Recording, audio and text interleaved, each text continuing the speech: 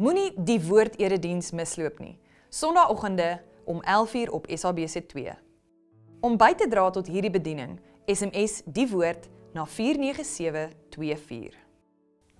Goeiedag en baie welkom hier by ons oordeenking tyd weer saam waar ons besig is om te kyk na hoe lyk 'n geesvervulde volgeling van Jesus.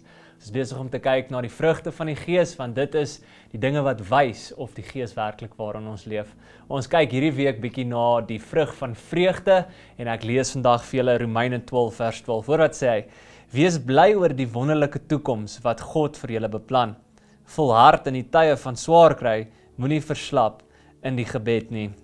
Nou, ek is seker of van almal van ons het al iewers bekommer oor ons toekoms miskien die toekoms oor ons land, oor ons finansies, oor ons kinders, uh selfs net oor ons eie lewens waartoe ons op pad is. Maar hierso sien ons vandag dat die as die Gees werklik waar in ons leef, wanneer hy deel van ons lewe is, dan kom gee ons al vir vreugde oor die toekoms.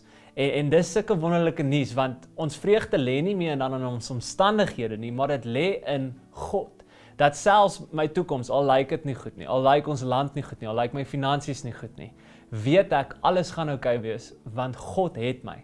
Hy is by my, hy stap saam met my, hy is daar in elke moment van elke liewe dag. Daarom kan ek met 'n glimlag rondloop, daarom kan ek vreugde hier binnekant my hê. Daarom hoef ek nie te bekommer oor môre nie, want God is by my. En hier Jesus het hoeveel keer ook gesê wat gaan bekommernis ons lewe met 1 sekonde langer maak. Dit gaan nie. So, wil jy nie vandag dalk net die keuse maak om te sê oor jou toekoms. Here, ek gee dit in U hand en in dit sal jy vreugde vind. Kom ons bid nou ook saam. Here Jesus, so baie dankie dat ons kan weet dat in 'n verhouding met U, by U, Here, kan ons soveel vreugde vind oor ons toekoms.